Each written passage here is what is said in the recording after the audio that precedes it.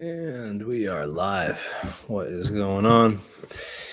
So, wanted to do a quick video or maybe a deep dive video into the whole history of all this stuff uh, that's just coming out. A lot of lot of new stuff has happened. So, 3 days ago CNN, uh, Fo- Fox News, and um, 60 Minutes and a bunch of other networks covered this uh, break in, this Havana syndrome. A bunch of uh, they've been collecting intelligence on this Havana syndrome stuff for five years, and this is their final report on all of it. And um, yes, some serious stuff. Uh, we're gonna we're we're gonna get into that and talk about that.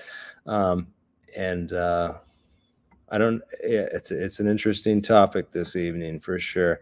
Um, yeah, so this is uh, this is crazy stuff. Um, there was an earthquake this morning here in uh, New England, just off the coast of like Rhode Island and and uh, and Montauk. I think um, out right out right out you know between New York and Rhode Island down in that area. It was felt through um, Massachusetts and stuff. Um, but yeah, so weird stuff going on. Um, I'm going to talk about these systems. Uh, I shared some links in the description. Of course, the uh, image here that was in the thumbnail caption was uh, a directed energy rifle prop used in the TV series Arrow. So that's not an actual, you know, real machine. It's just a prop that was built uh, to to you know simulate or emphasize uh, an advanced form of, of these weapons that would just be um, you know uh, big capacitor bank maybe and, and some uh, phased array um, systems sort for ranging and, and, and scaling um, with a with a scope uh, of some kind maybe uh, or this is a pair it looks like a parabolic dish with this is the parabolic antenna that goes into it i don't know um, but in any case um, we'll talk about the real systems and how some of that uh, history of that technology works and, and whatnot. It's uh, it's a good deep dive, and this brief overview is, is a good starter. And we'll, I'll, I'll, even show you some videos of where you can, you know, start experimenting with your own different uh, phased array antenna systems, and um, you know, start with a two wave, uh, a two a two uh, antenna um, transmitter and then work your way up to more complex systems that are um, you know directional and and tunable um, pointable like the the HAARP system up in alaska. So so the HAARP system in alaska is is a series of these antennas that are all lined up in a grid. So they added it's additive um, and it's a phased array kind of thing so that they can they can phase the uh, controllers. And the controllers are in each one of these massive trailer uh, power stations with a you know transformer box uh, hardwired into the ground you know this is some serious electrical equipment that that's running up there in alaska and um, you know you can't see the it, it, could be running in any one of these pictures. You wouldn't actually, it wouldn't actually look like this. You wouldn't actually see the radiation uh, of these these frequencies that these these towers are emitting. Um, it's it's invisible to the human eye, but it's um, the way they do it with this this phased array of um, a series of multiple antennas is they can time they have an array and then they phase it so that the timing, the sequencing um, can send off, you know, these directional wave fronts. You see how they time the signals that go across there to, to, to make these directional wave fronts so they can point the antenna anyway 45 degrees um, either way, either direction from the uh, the source. It's about a 90 what is that you know so they have 45 this way and a 45 that way. So that's a uh,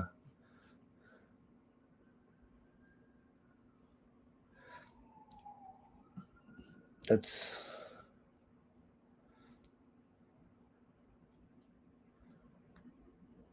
Ninety, yeah, ninety meters or ninety. Uh, that's a ninety. So you get four of these set up, and and, and they have these blocks too, um, where where there's um, four of them, four of these bad boys set up. So phased array.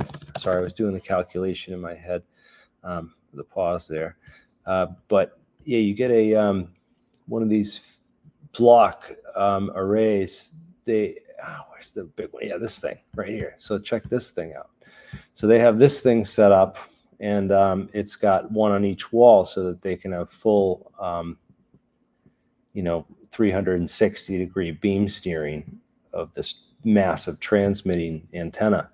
So these are um, all a series of transmitters and all, all the little points on this uh, this phased array thing. You can go look up phased array on, on Wikipedia to find, find that and um, scroll through some of the yeah. This is like the early one where they just use three antennas and they phase different uh, frequencies at the same frequency at just at different times to the different antennas to um, make this directional beam steering um, type of technology. And you can see this massive. This is a lift, one of those lifts that you see out in front of Home Depot or something, um, right there in the foreground, in in front of this massive. It's got to be 50 feet tall. That's got to be a, a 50 footer, you know, maybe even taller lift. But the, yeah, that's a serious piece of equipment. And, um, you know, to think that they have even bigger uh, situations and stuff is, is pretty nuts. So this is cool. Um, if you guys have seen this, I, I, I don't want to get um, caught for the copyright uh, for, for watching it, but I'd, I'd show parts of it. Um, but I'll summarize the basis of, of the, the, the important actionable scientific intelligence that we can get from it. And that's this patent that they showed briefly at um, one point during the, the, presentation by this Carl Kiefer guy. So I'll, I'll share that with you y'all now. Um, and I'd love to get you guys, uh, you know, some some um, Yeah, it's multi-antenna. There's an array of antennas, and the phase, the phased array means that, that they send a different um, signal to each antenna to transmit at a different phase. Um, and when they phase them correctly, you can get them to to directional beam steering, like uh, was shown in that that other video there. yeah, my buddy um, Steve Elswick actually wrote the first book on HAARP. So um, he knows a lot about this stuff too, man. He's uh, a pretty cool guy. Tesla Tech. He runs the Tesla Tech conference there, and out down in Albuquerque. Which um, they're they're starting up at TeslaTech.info if people want to go and, and check out that live conference. And um, but yeah, they use this uh, carrier signal and then the this other signal in this antenna system. They get this parabolic dish with a 20 decibel gain, and uh, this shows a person at 10 meters away. And uh, yeah, they can point this beam. This is they don't need the beam steering and they don't need the phased array so much as uh, you, you see in that it's interesting because in, in, the um, that fictional gun that it shows, yeah, in that fictional gun it shows these six. It's got six with the one in the center, so seven these um, antenna transmitters. So that's like a kind of like a phased array um, setup in the fictional one, which is interesting. Um, although if you had a parabolic dish and a gun type of thing, you, you wouldn't have to worry about the phase array because you could pretty much point in direction uh, the beam that you wanted to shoot. And um, again, I don't know what this says about the frequencies and stuff, but um, it would be interesting. Yeah, so there's this microwave auditory frequency and if you blast that high enough, it will really blow. It will really uh, hurt your inner ear and, and make your head scream. Um, so those might be the uh, the frequencies that they're really looking at and trying to do when they run this thing. Um, of course, you can modulate um, tones over those frequencies, so you can give people like the voice of God and, and, and crazy stuff. I heard. Um, yeah, The Thunder Gun, man. Um,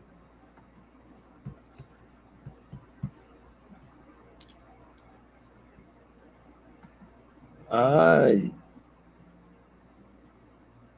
don't know that. What is the frequency range for parabolic dishes? Google.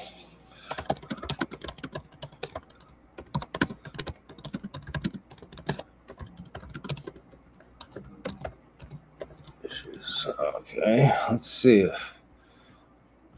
1.3 to 8, 86 gigahertz. You are correct. Those are the bands that are supported by the, the parabolic dish. Yeah, so what kind of frequency range are we talking about with, uh, you know, let's see, microwave auditory effect. Let's see what freak frequency range. Let's see what the frequency range is. Okay, so that's 200 to 6,500 megahertz. Yeah, so yeah, megahertz would be below that uh, gigahertz threshold for the parabolic antenna. You are correct. So if we we're dealing with microwave auditory effect weapon, then then it's of course a different frequency range. So, um, but of course they're not going to give you the key magical frequency that you need.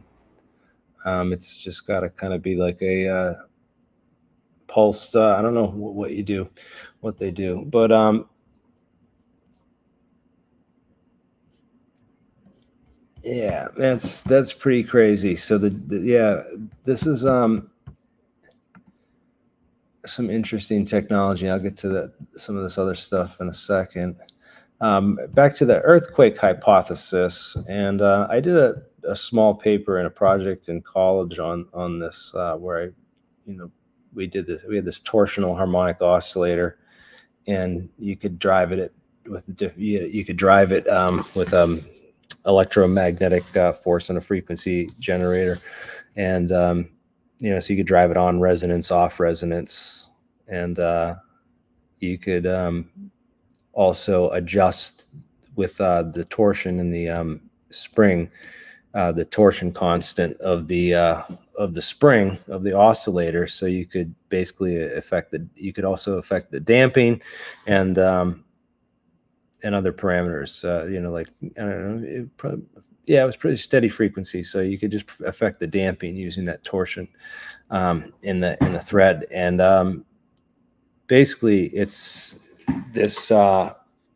it's the way the Tesla's machine worked is he, just had it's the same way that a vibrator um, device works in, in your phone. It's just a motor that's got the load off balance. So whatever is tied on the load is just an off balanced weight. Um, that's kind of like the idea of throwing a brick into a. Uh, you ever seen the video where they they throw the brick into? Um, let's find that in the washing machine. Brick in a washing machine.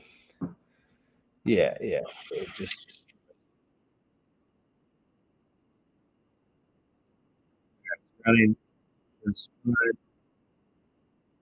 now add the brick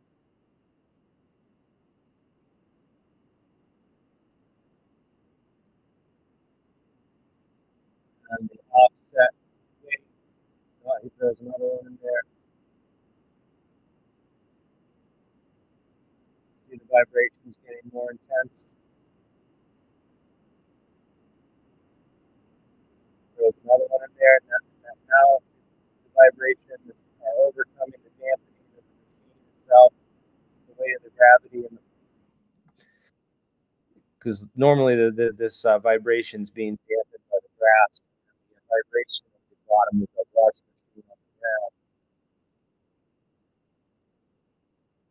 so now he's added enough weight where the driving function has now overcome the dampening function um, built into the uh, engineering of the of the machine itself, and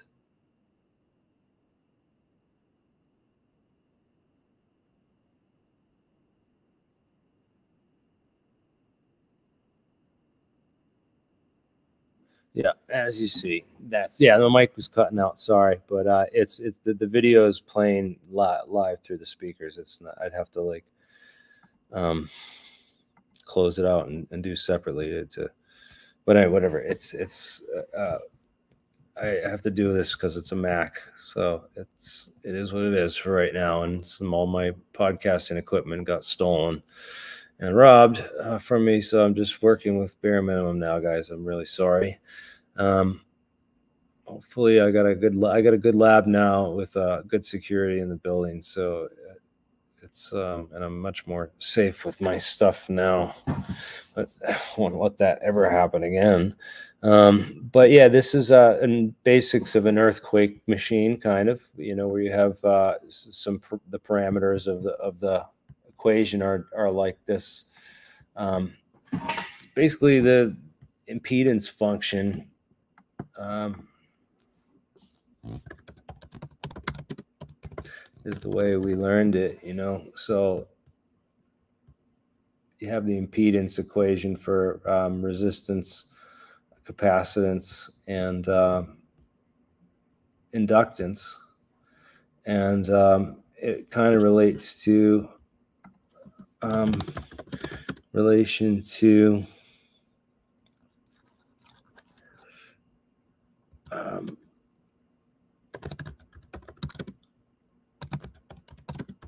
oscillators. Yeah, so let's see what I got. Yeah, so impedance in the driven harmonic oscillator.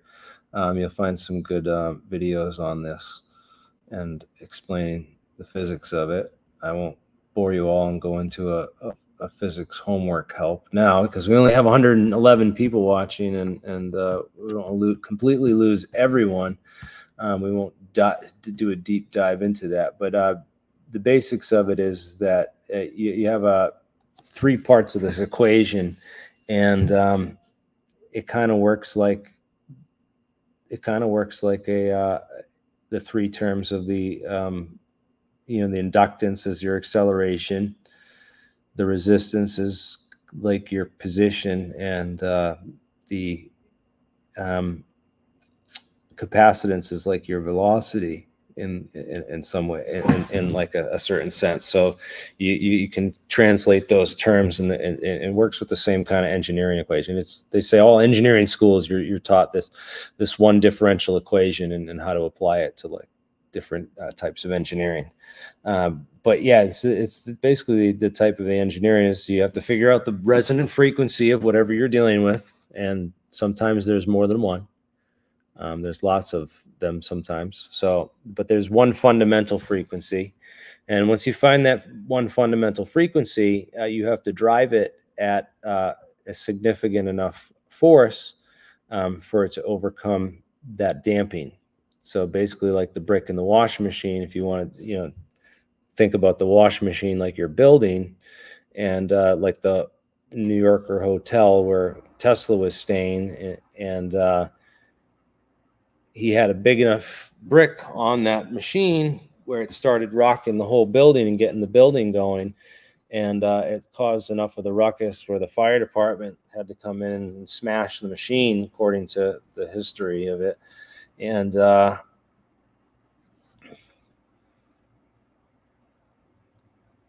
they um, it's basically the, the, same idea is you have uh, the fundamental frequency of the um, washer is probably tuned to something different you know to the structural stability of it is tuned to something if it was at the same frequency as the thing rotates at then then you'd have bad um, the thing would just fall apart. So you have to, that would be the first step of engineering so that the frame is at a completely different structural frequency than, than what the inside, you know, rotates at. And then it's just a matter of uh, over, overcoming that with um, enough uh, bricks whatever. But it's, uh, it's essentially like you have a fundamental frequency and um, you can find it with some what's called the Q factor of resonance, right? So the resonance Q factor, yeah, is an important part. This, yeah, this is good. We'll, we'll explain it for Engineers Academy. It's a good uh, good explanational videos that will go through the whole derivation for you on how to um, basically you have to find this resonant frequency and everything's got one. And then uh, you'll have a Q factor. So you, you'll hit that frequency, but you know you'll notice there's a little bit of this curve, so you can go a little bit to the right or left of that frequency, and and still be, you know, relatively at, at full power, um, or with 90%, you know, 95% or above power. Um, to within a degree of what the what's called the Q factor, and that's how much movement you have um, with the uh, you know the, the tuner on the radio for example they have to fine tune that q factor um, so that you don't get crossover in the radio stations because you know sometimes you can hear another station coming through. That means your q factor and your your broad is too broad a band and that you're not tuned in uh, fine enough to the single frequency that you're trying to listen to your your overlapping frequencies and stuff. So um, the key part is to find the fundamental frequency and all objects have one.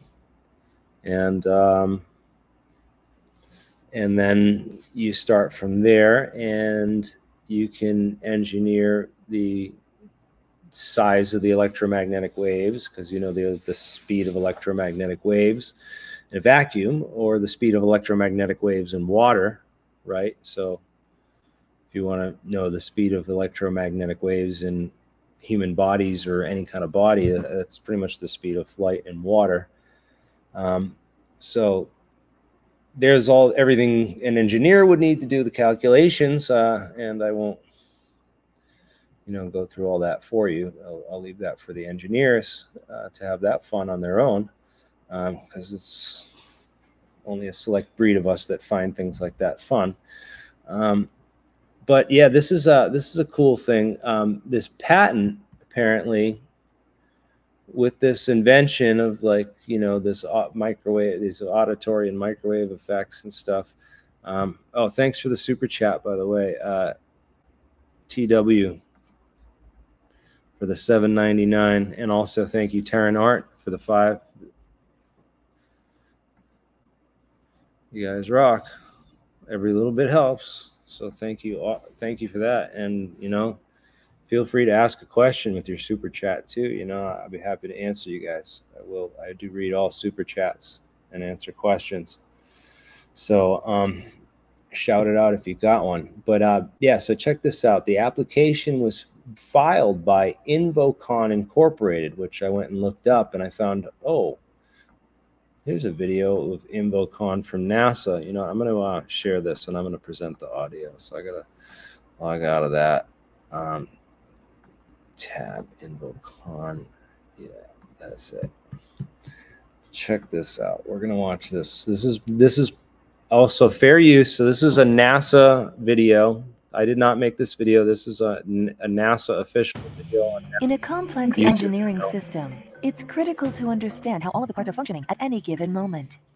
When that system is in a harsh environment, it becomes even more critical. Imagine if you had a way to constantly monitor the system, regardless of where it is. For a number of its systems, NASA has relied on a small company in Conroe, Texas to provide monitoring solutions. Invocon has been developing miniature, low-power wireless data acquisition and communication systems since the mid-1980s. Early on, the company's president, Carl Kiefer, envisioned putting a network of sensors on a NASA structure, each sensor acting as a relay source for the network. We produced drawings of astronauts floating around, a, a drawing of what we thought a space station might look like. Uh, and uh, those astronauts are floating around putting little sensors on the space station. I think it was 12 years or 10 years to the day later.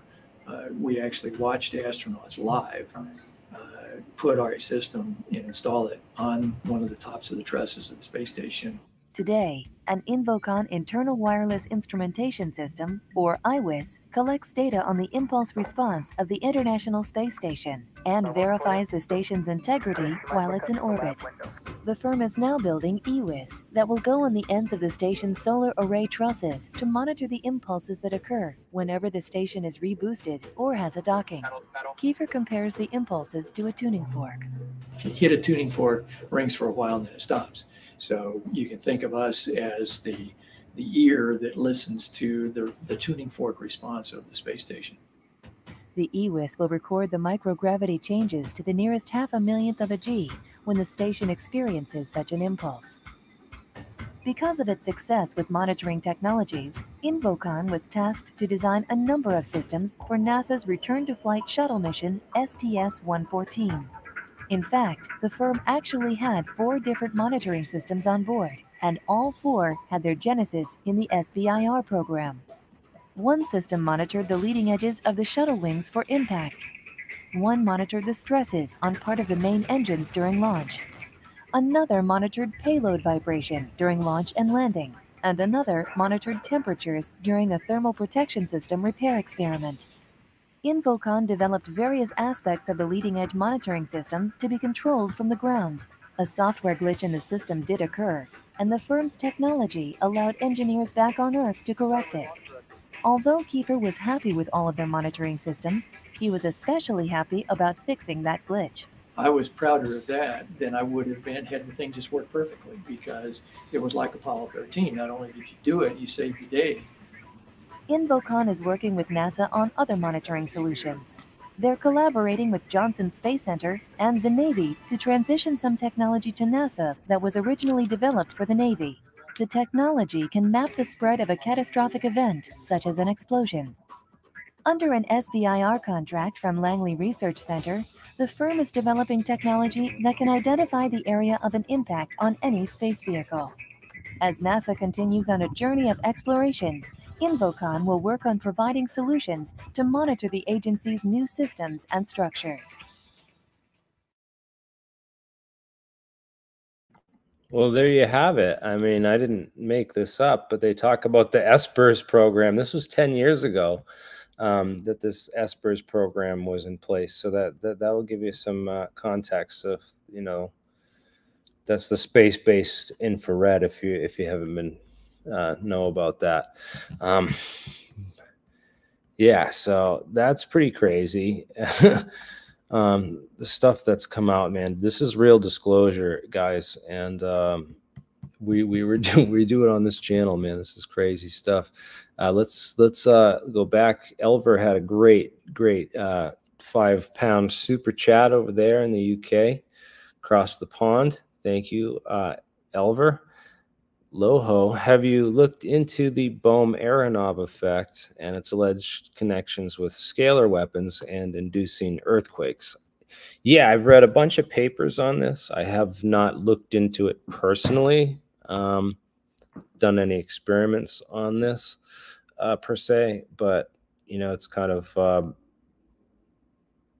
that's kind of like I haven't done a lot of any experiments with uh, you know the Havana syndrome stuff or earthquake machines or or weapons of stuff like that because it's um, yeah I, don't, I, just don't know uh, if that's a, a safe uh, territory to be you know or a fruitful one you know for for that matter, because there's already people working on these weapons in our government, and I don't really want to build weapons. I want to, I, I want to build things that um, save the world. And you know, if we could find a way to use scalar energy to have, you know, create nuclear fusion, um, you know, through a mag, you know, quantum bottle uh, or I don't know hydroton, um, any one of these models of how you'd fuse um, atoms at low energy instead of the immense temperatures and pressures that uh, our sun uses to uh, power all the all the uh, current energy that we use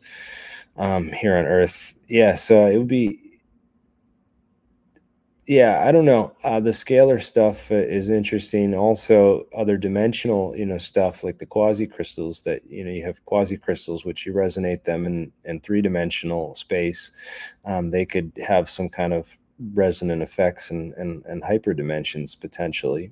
Um, yeah, so there's a lot of research that I want to do and get involved in this. Um, I haven't gotten there yet, um, but I did think this was uh, this was pretty cool. This Invocon uh, connection here that I got through this this guy Carl uh, Kiefer, very interesting guy. Um, quite a, a, number of interesting patents um, once you get into the patent if people that do the patent searches and, and really dig into that kind of stuff too lots of interesting stuff there he worked for this gas research institute and electric power research institute. These are like these sound like generic companies that were just made up by like the cia to investigate different you know technologies or something. This is the these don't sound i don't know. Have you ever heard of these? Like maybe this is a real thing and i'm just not familiar with the gas research institute. Um, maybe someone can enlighten me on, on that.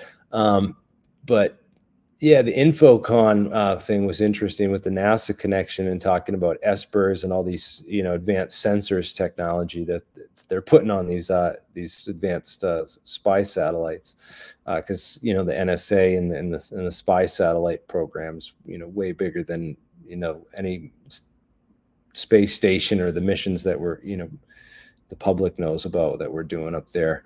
Um, but yeah there was um, they they this was a year ago February, uh, actually two years ago, where they were saying they couldn't attribute it to a foreign actor, and now they're saying it was this Russian guy that they arrested, and um, it's kind of weird because they they haven't actually shown the uh, video. Uh, you know, they showed a video of this guy getting pulled over on the 60 Minutes Havana Syndrome thing, right? They showed this video of the guy getting pulled over, but they didn't have, um, you know, they showed him. They don't show the video of of what the machine looked like, whatever he had, whatever the equipment was that this guy had when he was pulled over. They don't show it. They show this right here, whatever he had's in the bag, and it's not shown. But there's a looks like a cone or a speaker here. He's got a headset right here for monitoring. They don't show the actual device i don't think. I don't see it here anyway. I don't know if this is this is it. Maybe this is it on the ground this this thing.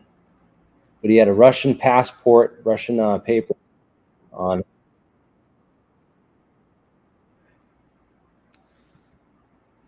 but um, one of the devices this device right here someone identified as just a regular car code reader um, so I don't know. Maybe this was a code reader that was a you know made to look like a code reader, but this is really a, a some type of weapon system because this looks like a plate of some kind with you know like he hold. This is like a is that a laptop with a, a sticker on it that looks like a speaker? is that an actual speaker?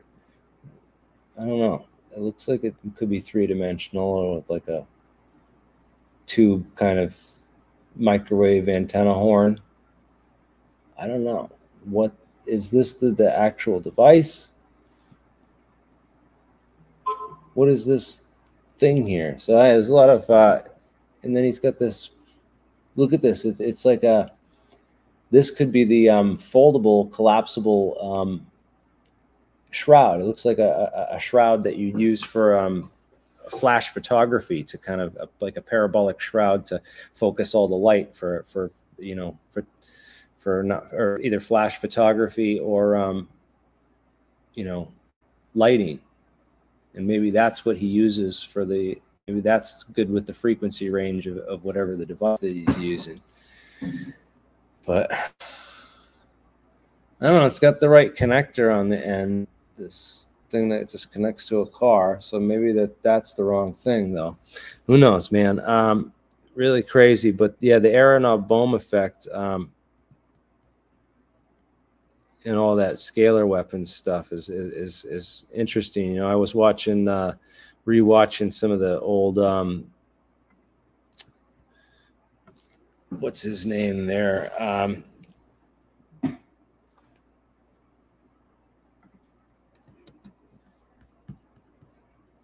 you guys know who I'm talking about. The the um who's the old guy? Oh, Ashton Forbes was had him on recently, man. He was talking about him.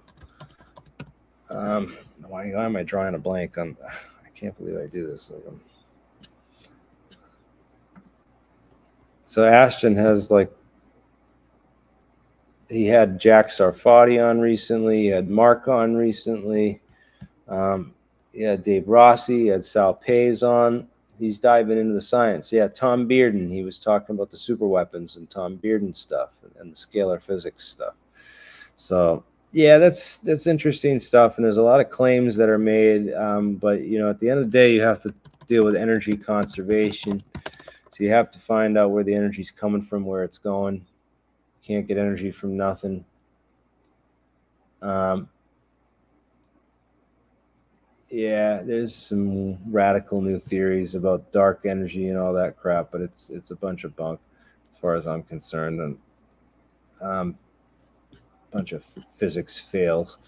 But yeah, energy conservation is is the uh, is a key part of physics, man. It's it's just a it's just a fact, and um, not going to be able to scale or, or anything. You can't just get tons of energy out of nothing, and, and you have to obey like physical energy laws. So if there's like bonding energy of in your undoing bonds, um, you can't get more energy than than you put in. You can't get energy out of nothing unless you can get fusion energy because there's tons of energy in mass, right?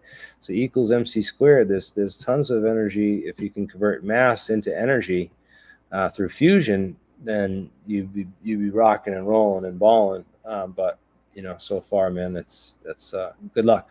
And if you are want to pursue that and you're good, you know, you've got a lab and, and the science to it, uh, I'd love to see it. Um, so far, there's let me see what, what um, Mitchell Schwartz is doing at his lab up at MIT there for cold fusion. Um, anything, any new patents from Mitchell? Uh, these are different patents.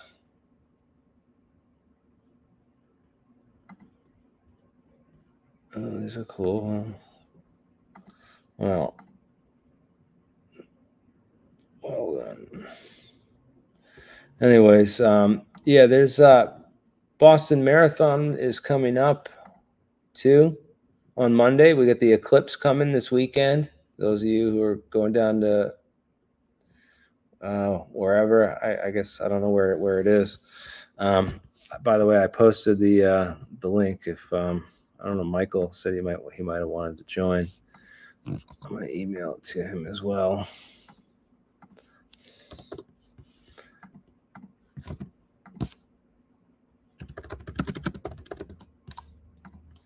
Yeah, there you go. Yeah, so we got the the Boston Marathon coming on Monday. We got the Eclipse over the weekend. You know, um, I was on a podcast recently called the What Is Truth podcast. Um, they'd have a teaser up on YouTube, but it's uh, it's mostly on these other um, channels on on Rokfin and um, what's the other one there? Uh, Odysee and Rokfin. Yeah, so he's on Odysee and Rokfin. And those are less uh, censored platforms. So we got to unleash a little bit more than we usually do on YouTube. It seems that when I start talking about serious topics and, and real stuff, uh, you get um, they have uh, you know people people start signing out and stuff. Um, you know, I know people don't like Ashton, so that, that they uh, they'll get off if I start talking about him. But yeah, oh yeah, he had Simon Holland on recently too. That was another good one. So um, yeah, it's good that people um, with you know the a layman understanding of the science are digging into it, uh, but they also have to understand that you know there's there is real science to this, and there's a lot of bullshitters out there too. A lot of you know people that exaggerate claims and stuff. So it's it's important to verify um, with science, just like anything else, um, as best you can. So, um, you know, when I was on this podcast, he asked me a lot about, you know, my methods for verifying, you know, stuff and, and, and vetting bullshit and making sure you don't get cut your teeth on disinfo and uh, get sucked down false rabbit holes and stuff. And um, like I, am pretty sure this guy he referred me to on that podcast um, has got sucked down some of the bad rabbit holes. He did this podcast uh, with this guy. um, David McGowan on the Caravan to Midnight John B. Wells podcast show, and um, he talks. He says all the same old stuff on the, the Boston Marathon bombing. We had a a, a, a Facebook page called the Boston Marathon Bombing Think Tank, where we we, we went into detail on all these different theories and, and debunked a lot of them. And um, you know, I referred him to my you know debunking that I put out as well. So if you go to you won't be able to find this if you search for it, but you have to go to Alien Scientist YouTube channel specifically, go to the search bar, and then you can type in Boston Marathon, yeah, or Boston bombing. And you can see some of the videos I put up where I went to the actual crime scenes and, you know, I showed footage, you know, firsthand of me going there when they opened the city back up to show that there was, you know, the bomb damage that they had cleaned up some of it and boarded up the windows and stuff, but you you could definitely see um, what took the brunt of the uh, the explosion and, and the damage that it did cause. The two different bombs. I went to both uh, the bombing locations. You know, here's the first bomb site, and this is the second bomb blast site. Um, and I filmed exactly where those were. Show you know, so people can look those up and know um, where they were. And then I also went to the Watertown mass shootout and, and the apprehension site where the boat was in the yard on uh, Walnut Street to the, the shooting on Dexter and Laurel, Laurel Street. And uh, I also identified, you know, Craft International and um, yeah, it was it was Craft International and um, the Infowars remember Alex Jones? He was saying that these these Craft International guys um, were the ones who planted the bombs, and they're, they're like, "Hey, dude, where'd your backpack go?" Because this guy had his backpack on, and then there's another picture of him running with no backpack on, and all that kind of crap. And um, you know, I went through that whole thing uh, in detail, and um, you know, I show the memes. You know, they had the, the memes that were up about, you know, hey, bro, where, where's your backpack? The backpack's right here. It shows them responding. They run up the street. This is the immediate aftermath of the, the first response. And then I also show this video, which is important because it places those two uh, suspects that I, you know, Alex Jones, you know, alleged that these guys did the bombing. Uh, so I showed the video where you can see them, you know, here's the crowd, they respond to the bombing, and then this guy runs by with the backpack on responding to it. And I show on the markers where that location was in um, Copley Square, right near the Boston Marathon bomb, um, Boston Marathon finishing line, and uh, this church here right by the the, the uh, I think that's um, Copley Plaza Station um, on Dartmouth Street, and uh, I think this is Boylston Street. Um, yeah, so that guy definitely didn't plant the backpack. He was a block and a half away um, with the backpack on and responded to it. This kid right here can be seen right here putting it down. Definitely planting the backpack. Here he is without the backpack on, running from the, the scene with frightened people around. Here he is carrying the backpack to the scene the blown apart backpack was, of course, the inside out, and there were also two back, uh, I believe, two backpacks. He, this guy had one too. So, um, you know, people confuse the backpacks. People confuse all kinds of stuff, and and people who really suck at doing just forensics and in general investigation were spreading all kinds of nonsense conspiracy theories before they had any idea what was going on and, and any idea what they were talking about and uh, that was evident from that interview. I couldn't listen to.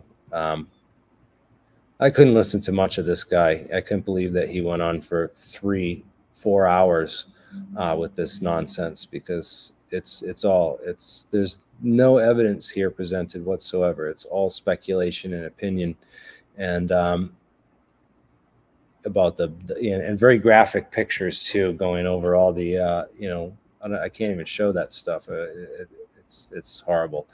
Um, alleging that you know guys were fake and crisis actors and stuff, and and I actually um, I met Jeff Bauman's I didn't meet him, but I talked to him anyways. Uh, Jeff Bauman's brother, Chris, and uh, Jeff Bauman's the kid that lost both of his legs, and they, you know, the conspiracies were th- saying that he was a disabled Iraq War veteran named Nick Vogt, and all this weird crap, man. I, we debunked all that nonsense.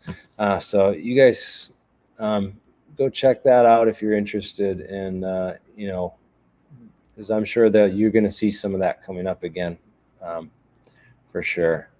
Uh, but yeah, here's the here's the link on Odysee to, to that, and then, then my show is up here, number 179, up there on Odysee Um, still haven't worked out how to get this channel on Odysee and all those other channels. It's just too much extra work for me right now.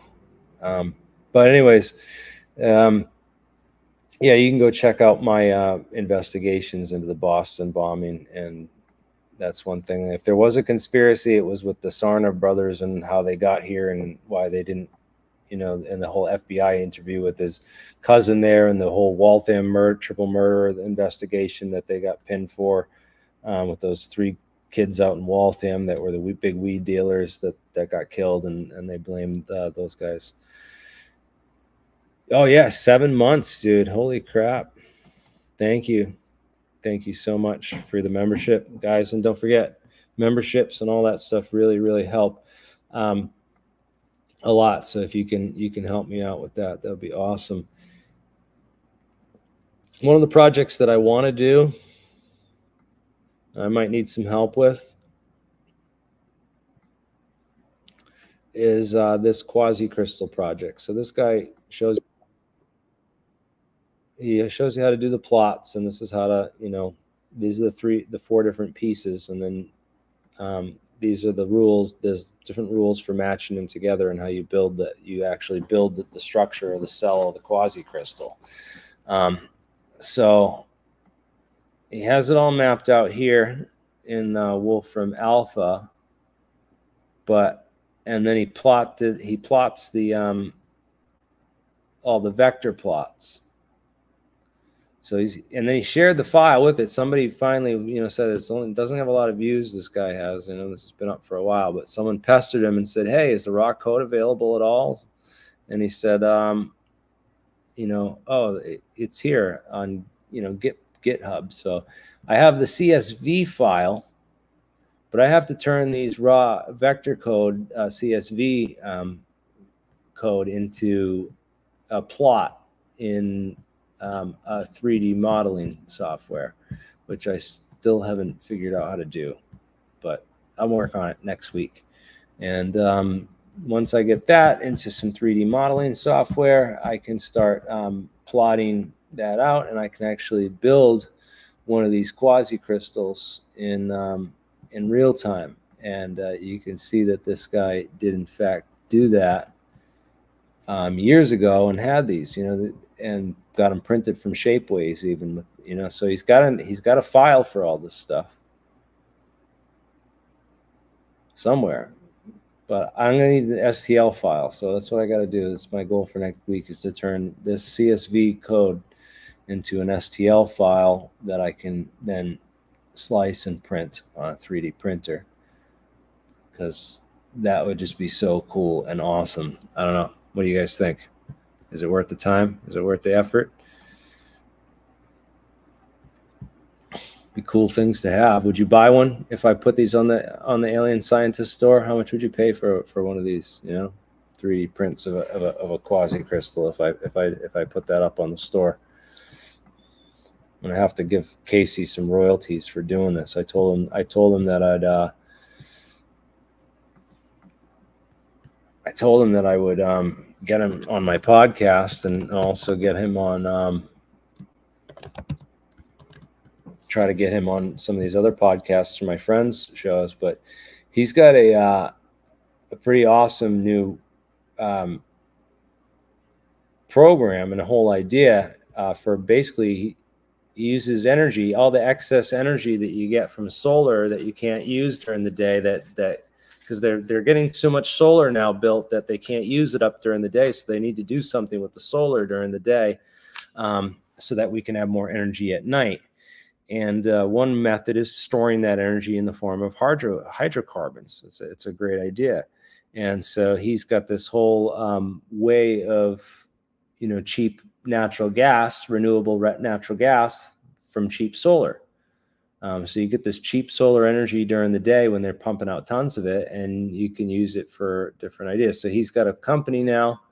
Um, they just it's called his company is called Terraform Industries, and he just did an interview on Payload Podcasts uh, here. Uh, it's a small little pot, growing podcast um, where yeah he did an interview talking about all this stuff talking about his work for he worked for spacex and uh, and elon musk and and, and a, a, bunch of these uh, these other people as an engineer. So this guy's this guy's awesome and he's into quasi crystals um, i really want to get him on the show for an interview and talk to him. This was a decent interview but um, you know this kid uh, he asked some like some pretty un, pretty just dumb questions like the moon landing was what although that was a cool intro because it got kind of got him talking about certain things but you know i don't really but anyways it was wasn't the best uh, I, I feel like he could have gotten more technical and better in, into some of the deep dive topics but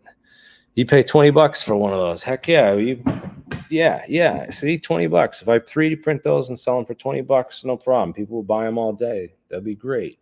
And um, you know every uh, so many I sell, I'll, I'll throw something back to, to Casey if I if you know if I make I don't think I'll make too, too much money off them, but um, I'm sure he's making enough money with his company now that he's not worried about um, a couple 3D prints of quasi crystals for educational purposes. For uh, you know, some guys like us, they're just trying to raise money to build uh, more technology and stuff. So um, I think what he's doing is awesome, and I want to definitely interview more people like him and uh, in the future, and get more people on board with you know these the start this whole Starship program. He talks about the whole the, the whole Starship program. I don't, I don't know if that's the hundred year Starship program, but the whole idea of us getting off the planet in the next hundred years and really building towards that. Um, yeah, those bismuth magnesium things, we're working on those. We're still um, progressing on that. We, we took a little time back. We, we want to get these silver inks to market so that we can have something that's making a little income for the for the company right now because we're we're just uh, here. Oh, Michael's here to join us too, so Michael can talk more to that. What's up, man? What's up, esoteric? Yeah, the bismuth magnesium chips, we're, we're working on that experiment now. And um, although, Michael, did you say you thought those were for some kind of shielding? Oh, you're muted. Let me see. You have to unmute your mic. Sorry. There we go. Okay. Yeah. So uh, the bismuth magnesium, um, at least on my end, um, yeah, the silver ink uh, that's something we were working on for a, a, a, company potentially. So that that could be a nice, uh, consistent revenue stream to uh, to put back into all of the research that we're doing here. So reinvest that ideally. Um, so yeah, was we were playing around with this earlier in the week um, or earlier last week, and um, ultimately that little clamp uh, that I got there uh, wasn't able to provide enough uh, pressure to really get these things to fuse properly. Um, so, like, we found that the temperature required to fuse the bismuth magnesium layers was not very high. So, like, we didn't really have to hit it with a blowtorch or anything to get it to happen. So, uh, now we're going to get a like a press, like, to make like they have these presses that press like the oils out of like marijuana plants and those go up to like three tons of pressure, which is plenty for what we need here. So uh, we're gonna try. Uh, yeah, we're gonna try making. Uh, I mean, oh yeah, like like that, like that. That's not exactly the one, but uh, yeah, I just looked it up real quick. If someone, you know, but but yeah, I mean, um, we found that uh, high temperature, higher temperature was bad for adhesion. So there's like not too much. Like lower temperatures are better, and if uh, higher pressures assist adhesion. Uh, in, at at any temperature. So uh, we're we've we've got it dialed in now where like we we know how much force roughly that it will take to fuse these layers, and then uh, we don't have to apply all of that much temperature to get the fusing to happen. So uh, it, you know it's a simple lamination process effectively is what we're finding, mm. and it's not even high temp. It's not even that high temp. It just needs a lot of pressure.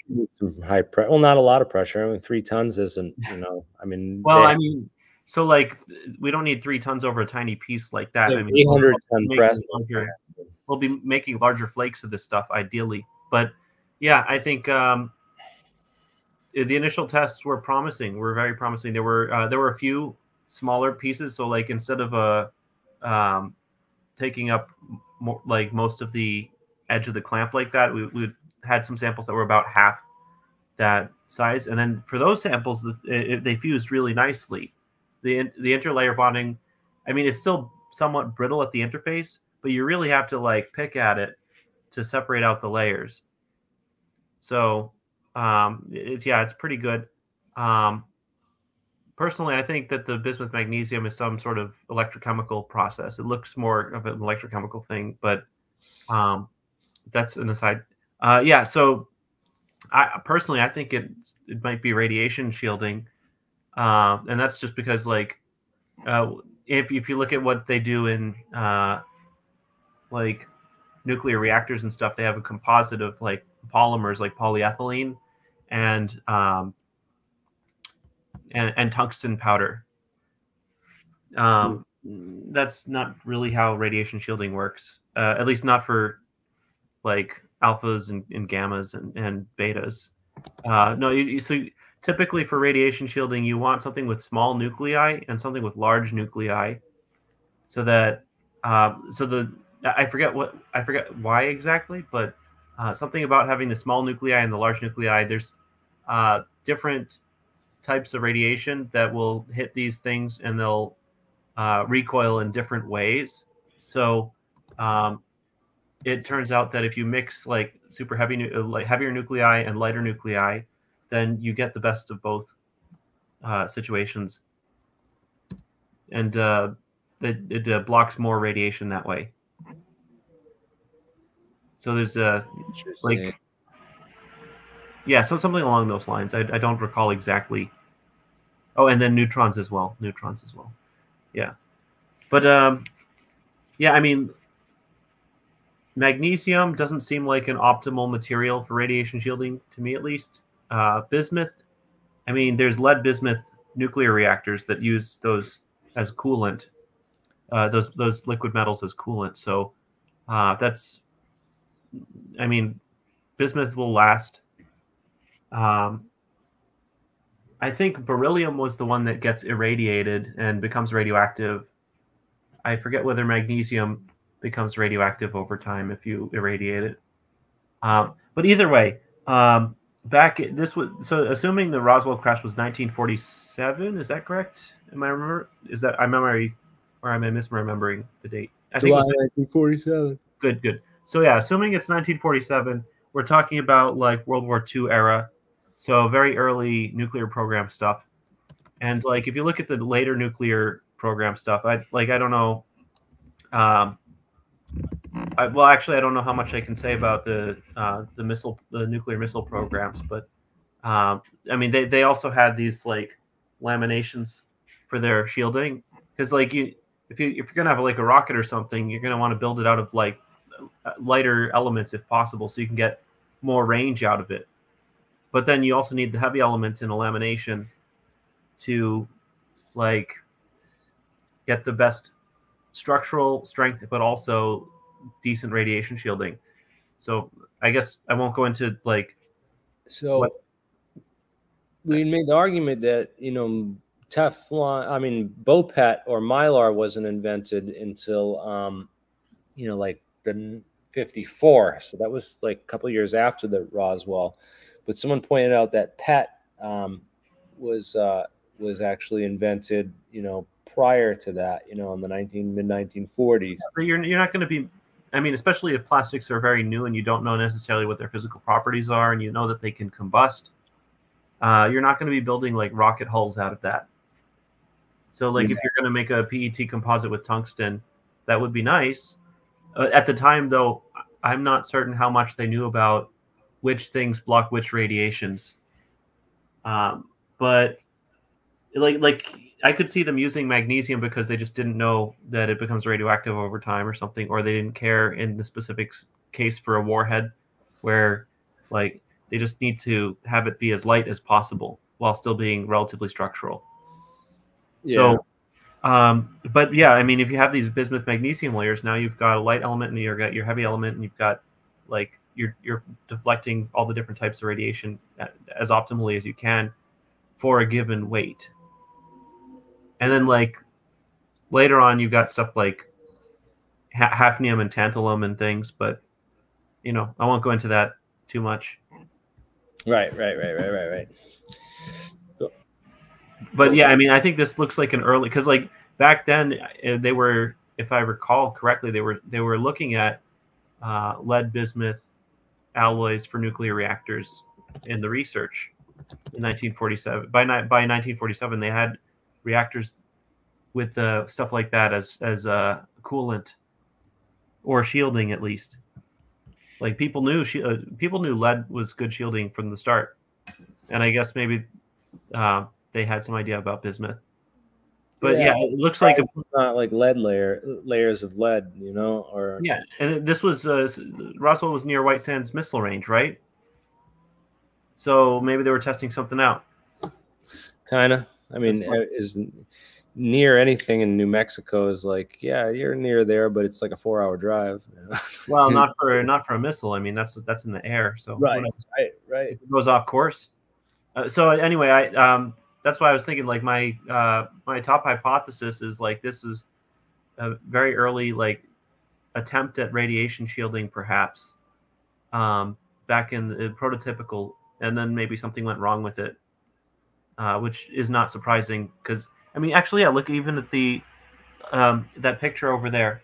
What was that actually? Go back. This is optomechanical. Go, go back before this.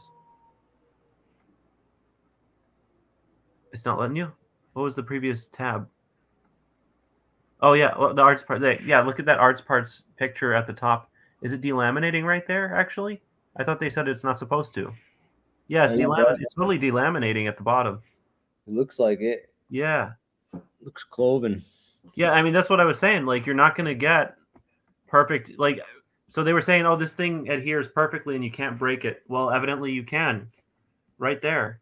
And I, I was like looking at all my tests, like we can get the mechanical strength to be pretty good, but bismuth is brittle, and the interface between bismuth and magnesium, they're dissimilar metals.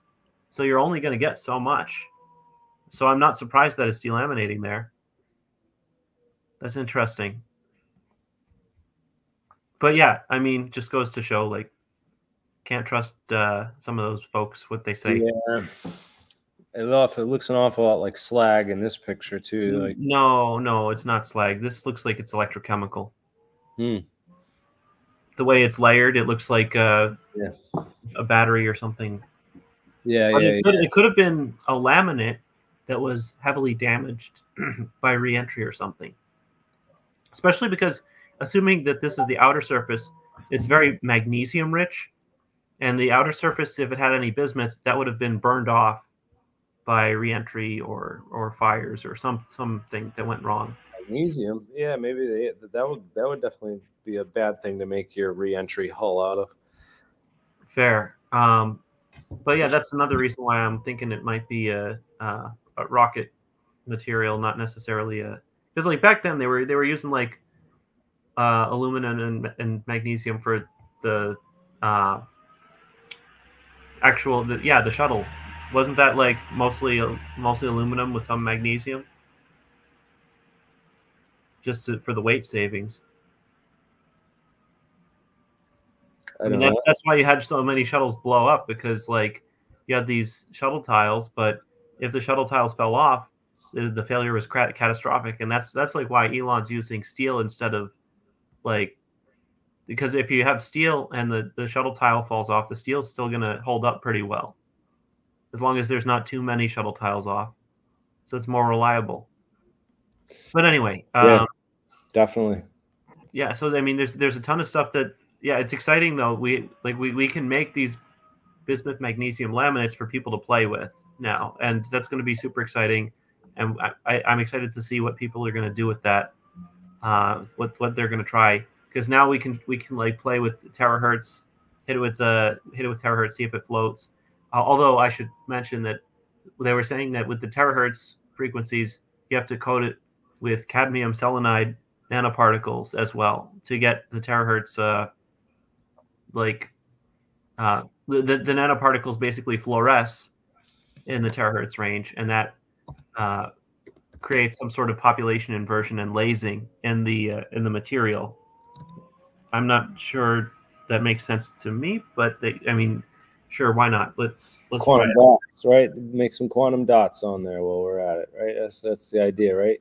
yeah so um but yeah this this uh it, there's a there's a number of things it could be i would be curious to see how it shields radiation i'd be curious to see Yeah. like So this is something that these people talked about a long time ago. They said it's quantum confinement, these quantum dots, and it's also what they're doing is creating these things called Dirac holes, like a Dirac sea on the uh, or yeah. well maybe i wouldn't know enough uh, i mean there's holes in in materials there's electrons in holes but does that actually correspond to so Dirac holes that's like in vacuum i guess but then you're just that's electrons and positrons right yeah, positrons basically. Yeah, antiparticles. Yeah. So so okay, you make antiparticles. So what? Like it takes a lot of energy. Then what do you do with them? You know, Mm.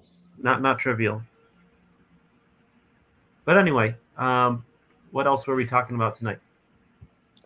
Yeah. Um, what do you think about the idea that? Uh, oh, another thing I, I wanted to mention is that that I had this guy on my podcast um, a while You, back. you, you went on his podcast. Oh, No, I was doing like an open lines, and um, okay. Oh yeah, the Skull and Bones conspiracy. No. Yeah. no, that wasn't the guy. Uh, Oh, no? Sorry, I'm trying to find it right here. So, I had done this um, six months ago. No, that's not the one. It was the one where where he first came on um, the channel. Whew, I don't know. Um, oh, no, that wasn't the one. Two years ago, it might have been this one. It was one of these ones I did. Uh, oh, yeah, that was one that, that Russell Targ jumped on. And, Neat. but I had this guy, Eric Hecker, on. I don't know if you remember this guy. Vaguely, you ever call him? He worked on the South Pole station for, uh, I think, Raytheon. Oh, that guy. Yeah, with the uh, he was saying that they had some scalar antenna thing going on with those. Well, the whole idea is that we, we know that HAARP, we know what HAARP is, right? So we, we know what phase array is, we know what HAARP is. And, um, you know, HAARP up in Alaska is this big thing they use to mess with the ionospheric weather and they can disrupt over the horizon radar. So that's like long range radar communications um, for military uh, operations. They can basically take this um, interference and um, blast out all the signals that are being transmitted through that uh, ionosphere and bounced off of it. I'm using this HAARP thing. So that's the basis of what we know about it but there's speculation that you know HAARP could have been used to create uh, earthquakes that you know made this earthquake in haiti. And then there's uh, now speculation with from eric hecker and some of the other people who worked uh, I don't know if there's anyone else who's worked on this uh, that's come forward, but definitely Eric Hecker, um, the IceCube neutrino detector uh, down in Antarctica, he's claiming is can be repurposed to um, be a, a machine just like HAARP. I mean, if you, it, it's a detector with all these strands that are buried deep down through the ice, so that all these um, cables go deep, deep down in the ice. So this is a huge facility with deep core. It goes down 2,820 meters down. Um, that's this is the height of the Eiffel Tower. So we're talking, you know, way, way taller than anything we could build on the surface of the Earth.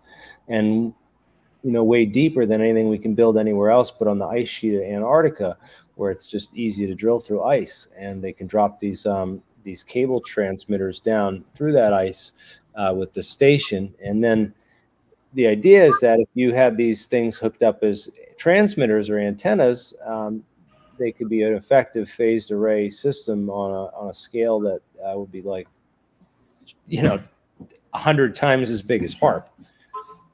and it's encased in a dielectric and things. I don't know. I, I it was, there was, it was mine, there was forward, he also Jeremiah documented or like uh, went over the numbers and info and like uh, verified that what Eric's saying for the capabilities is 100% accurate. It's only if they're actually doing it or not.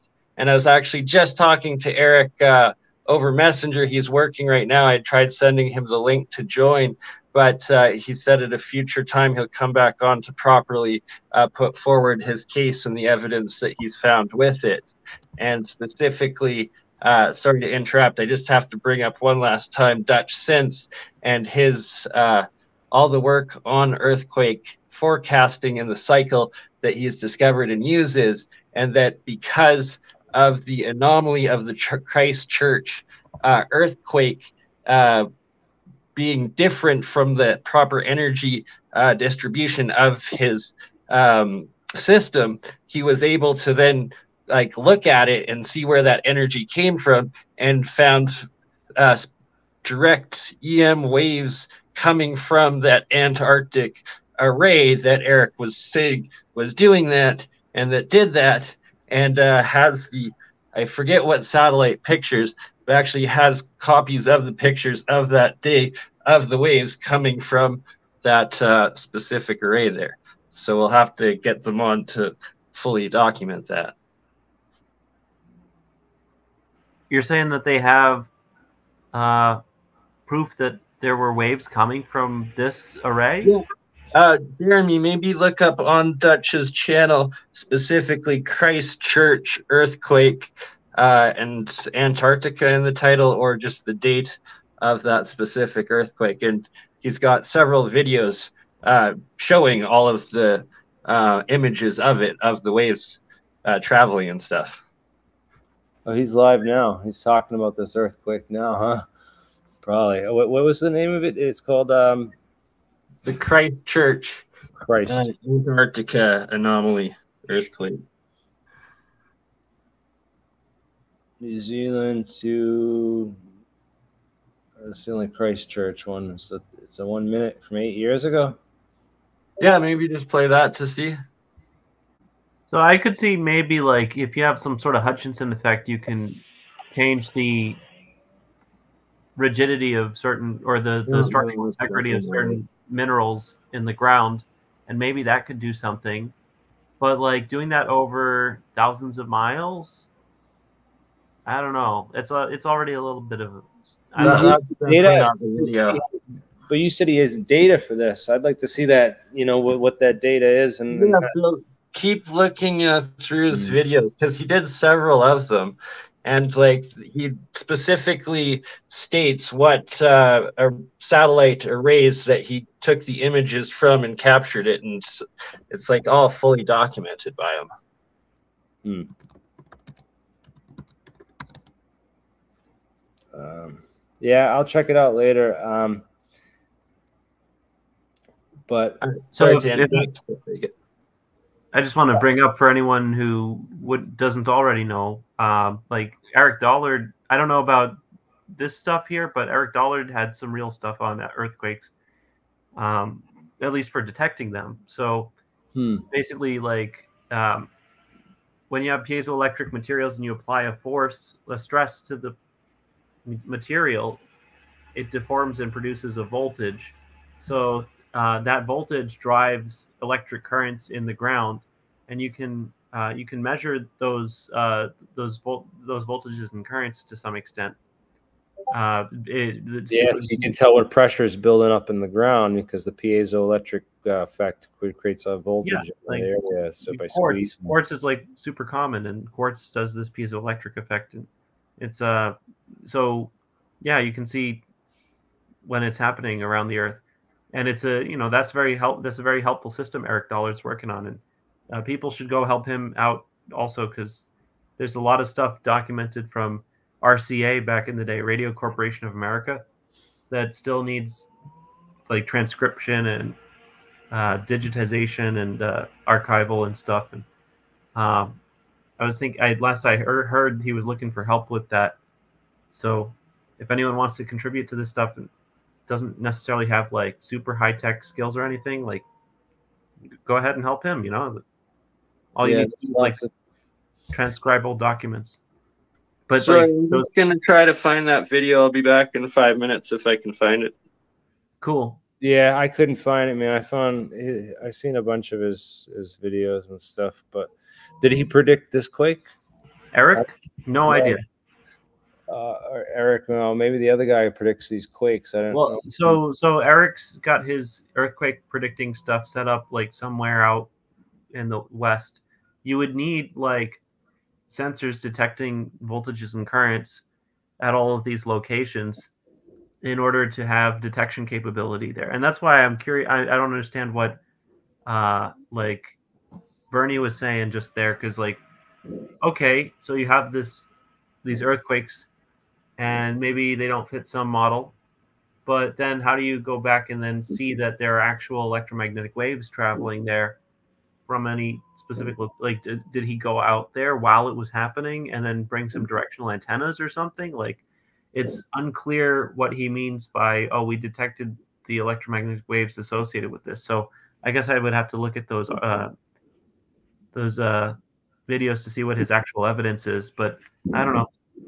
Um, but what i do know is yeah like you can you can use solar currents to detect uh, buildup of stresses in material under the earth and that's often associated with uh, or the it, it, builds up before an earthquake happens. So that might be useful. Um, there's some limitations, of course. So uh, once you have some voltage from piezoelectrics in the ground, uh, and the electric current dissipates that voltage entirely, then you have you have no more signal, but there might still be high stresses on some of the rocks under the ground. Yeah. So, um, so there's limitations on that end, uh, but the you know these these telluric currents are not huge or, or anything. And then so like if you're in an area that gets a lot of rainwater, like Eric's doing his work like out in the desert, so your voltages will be high, they'll dissipate over long time periods, and uh, and your currents are tiny but detectable. So um, so the desert is, or dry, arid climates are the best areas to try this type of earthquake detect, uh, detection technology. In in a wet climate, you're going to get uh, you're still going to get telluric currents, but they'll they'll typically be driven by the soil chemistry. Uh, like if there's a variation in chemistry from one area to another, where maybe there's a mine and then somewhere else there's less concentration of metal ions, and then like uh, biology will drive it too. Like if you have like soil with lots of decaying micro like material and microorganisms and stuff uh, hmm. that, that can produce voltages relative to other locations potentially yeah but i mean that's only six inches layer of topsoil so i mean you're talking about giant crystal rock structures with massive tons of force on them that, that, that's got to be a lot well no know. you'd be surprised like so over geological time scales like if you press some boulders together you're talking about like uh, expending maybe you have like kilojoules of energy, which is a decent that's a decent amount of energy, but uh, you're you're potentially expending that energy over uh, months or years. So you're talking about like microwatts of power over however many miles, or I don't know. Microwatts might be a little low, but um, you, you get what I'm trying to say. Like there's uh, there's a there's a scale to these things, and, and honestly, like biology uses a lot of power. Like actually, like if you think about like the the the thermal output of the sun per unit volume is less than the thermal output of a person. Like biologically, like the, the rate at which like biology takes energy and turns it into uh, work and heat. It is uh, it actually far far exceeds the sun's output, if I recall. Even though the sun's glowing, it's just a, a factor of like uh, what the equilibrium temperature is because we have a lot we have a lot of a higher surface area to volume ratio because we're a lot smaller. But anyway, um, I digress. Um, was there anything else we wanted to talk about tonight? No, I don't know, man. Uh, I, there's, uh, I'm curious to see what more comes out of this. Oh, they're doing uh, the fireworks. Nice. Yeah, they're doing the fireworks here, man. Let's see if you can see them. That they have a new baseball stadium in the area, so they do that. Nice. I should have stayed at the lab. I could have seen that, but I have stuff to do here. Prepping for the eclipse. That's gonna so, be hey, we should we should do a live. Uh, we should do like a, a, an event here at the lab and and, and just make it open like to the public and, and see see if we can get some people to come down. Maybe yeah, it's a cool lab space. I would be cautious though, because like we got to get these experiments done and uh, yeah, yeah, yeah, I know. Uh, getting a lot of stuff done, and uh, now we get those parts ordered. I think we'll we'll uh, we'll make some headway as soon as stuff stuff starts coming in.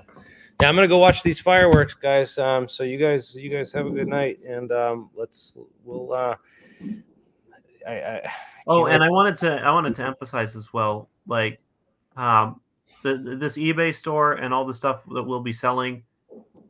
That money's all going to be reinvested in the research to mm. like get to the bottom of a lot of these things. Like so now like the first piece of that now is we have magnesium bismuth composites and everyone can shortly play around with those. And uh like that's just the start.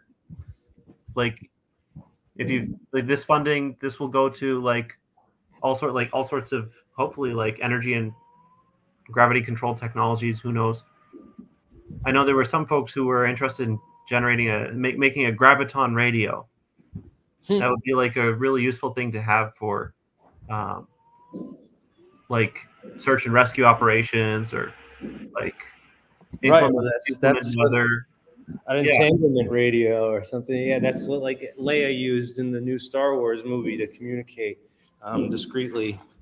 Yeah. So anyway, uh, long story short, uh, and any any support here that you give really helps us get to the bottom of all this stuff and see what's um, really going on first of all with all these like i don't know um, ufo controversies government cover-ups who knows whatever. But more importantly it gets the technology that's really going to get us out of these situations with our with our species and like get us off this rock maybe get us uh,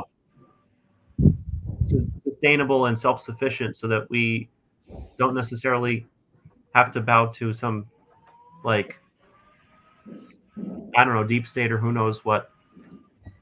Anyway, have fun, guys, and yeah, yeah support support the channel. Uh, get some uh, get some magnesium bismuth composite. That's like a uh, this is a historic first step towards um, like breaking up these cover-ups and things getting the science out there. So Absolutely. get a piece of history. And help history progress as well. We're doing it man. Yeah.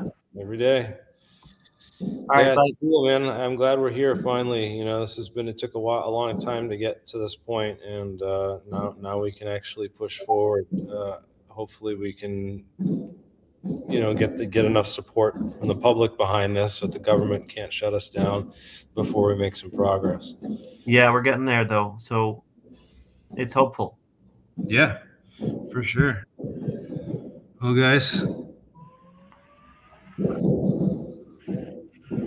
bombs bursting in air mm-hmm all right have a good night everyone yeah. Yep, it's grand finale now. It's going. It's going off now.